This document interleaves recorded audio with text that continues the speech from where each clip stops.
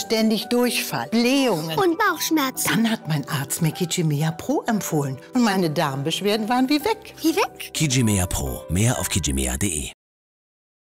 Herzlich willkommen zu Ad 24 am 19. Januar mit dem Wichtigsten der Woche. Wie das Recherchenetzwerk aus WDR, NDR und Süddeutscher Zeitung herausgefunden hat, ließ das BMG bundesweit mehrere Apotheken durchsuchen. Auch Anzeigen wurden bereits erstattet. Der Vorwurf, während der Corona-Pandemie sollen sie die staatlich finanzierten Paxlovid-Packungen in großen Stückmengen abgenommen, diese jedoch dann selbst illegal weiterverkauft haben.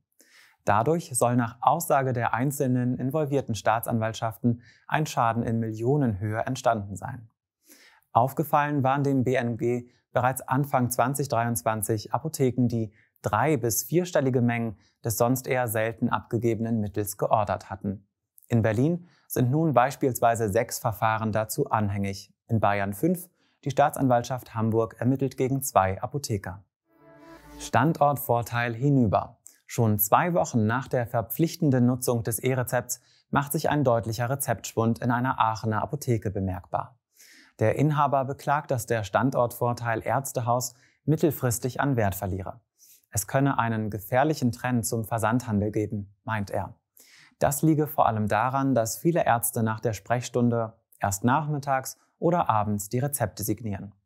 Ohne Signatur kann die Apotheke das Rezept aber nicht abrufen.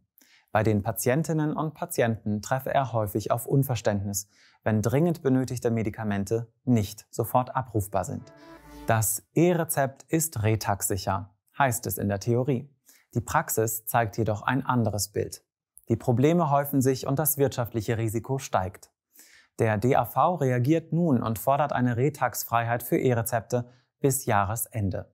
Zwar sei der Anteil der E-Rezepte, die auf dem Verordnungsweg oder im Abgabeprozess komplett hängen bleiben, laut der stellvertretenden DAV-Vorsitzenden Anke Rüdinger minimal, dennoch gäbe es noch zu oft Schwierigkeiten, die die Arbeit der Apothekenteams in Zeiten der Lieferengpasskrise zusätzlich erschweren und die Versorgung der Patientinnen und Patienten verlangsamen. Die Lieferengpässe kommen die Apotheken teuer zu stehen. Laut Steuerberater Thorsten Feiertag haben sich die Warenbestände vergrößert. Zugleich sind die Konditionen wegen der Rabattausschlüsse jedoch gesunken. Bei kleineren Apotheken hat sich der Wareneinsatz gegenüber dem Vorjahr um ca. 1,38 Prozentpunkte verschlechtert. Bei größeren Apotheken sogar um 2,12 Prozentpunkte.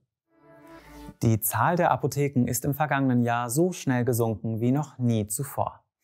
Am 31. Dezember 2023 gab es in ganz Deutschland noch 17.559 Apotheken. Unter dem Strich verschwanden im Jahresverlauf also 508 Betriebsstätten. Damit wurde der bisherige Negativrekord von 394 Schließungen aus dem Vorjahr direkt gebrochen. Wie sich schon im ersten Halbjahr abgezeichnet hatte, gab es kaum Neueröffnungen. Stattdessen wurde in vielen Kammerbezirken neue Negativrekorde verzeichnet. Teilweise gab es doppelt so viele Schließungen wie im Durchschnitt der Vorjahre. Vielen Dank fürs Zuschauen. Wir wünschen Ihnen ein schönes Wochenende und wenn Sie mögen, sehen wir uns am Montag wieder.